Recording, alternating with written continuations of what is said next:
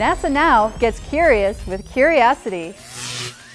When Spirit and Opportunity successfully completed their prime mission and told us that there was once liquid water on Mars, we were beginning to think about the next mission. And in this case, we needed to take more instruments to Mars. So it was clear that Curiosity would have to be bigger.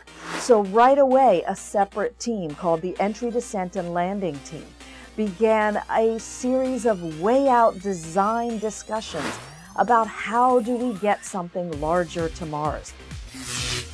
Be sure to tell your teacher to visit the NASA Explorer School's virtual campus.